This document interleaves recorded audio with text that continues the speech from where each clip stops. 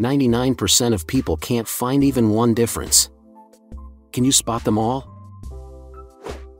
We'll give you 3 minutes, but feel free to pause the video if you need more time. You ready? Go!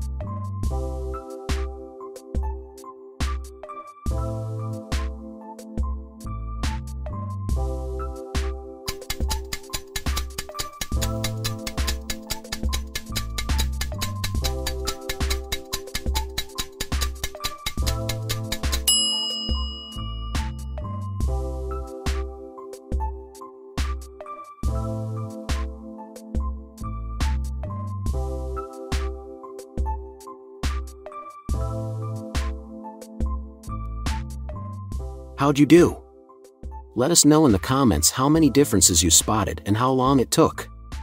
Don't forget to share this video with your friends to see how their scores stack up against yours. Click here for another crazy spot the difference. Let's see if you can beat your score.